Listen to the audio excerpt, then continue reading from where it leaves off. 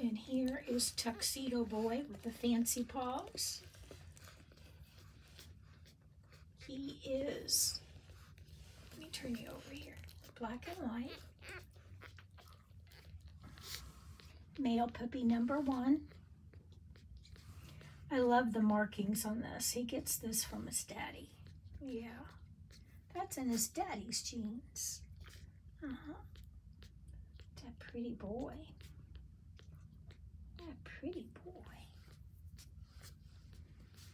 That's a good boy. Yeah. That's a good boy. Yeah. Precious puppy sounds.